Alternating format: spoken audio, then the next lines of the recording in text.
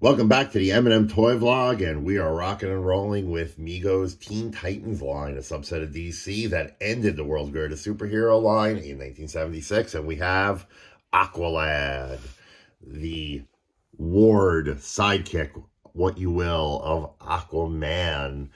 Aquaman, one of the more classic Megos, and in 76, we got his ally, his sidekick, Aqualad. Simple figure, not much going on, but boy, does he pop. Uh, we start with the Teen Titans unique uh, soft rubber boots, which was new for the Titans line. Like I said during the Wonder Girl, you wonder what some of the heroes moving forward would like look like if the if the uh, World's Greatest Superhero line continued. Would they have resculpted Batman and given him these kind of boots and gloves?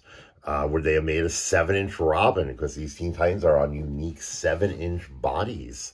Uh, these boots are gorgeous, but they pose a little bit of a problem as they only made the pants. Of course, we have our our body stocking pants, supposed to be flesh colored on his bare legs. But now they only go down to the boots, to the calf. So if you don't have the boots on this Aqualad or some of the other Teen Titans, it looks kind of weird. Flesh colored shorty pants.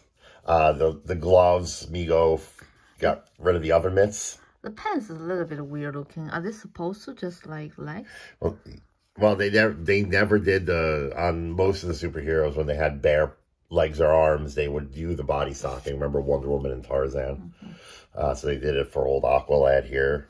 But now that we have these form-fitting boots instead of the big clunky boots, now they're instead of form-fitting tights, they're form-fitting shorts. Uh, the gloves are really nice.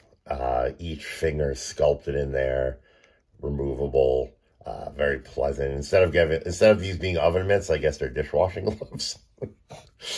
very appropriate for Aqualad, I guess. If you live underwater, you want to keep your hands dry. I don't know. Uh, the belt is really nice with the little aqua symbol, uh, same as his his pops. Uh, Garth here, kind of generic look on the face, but sure as Aqualad, popping red shirt. Uh, my snaps are perfect. You see how the belt is molded. Uh, of course, Aquaman and Aqualad had a long-running cartoon together. Uh, so this, if they're going to do these smaller teen superheroes, Aqualad was a must, must have.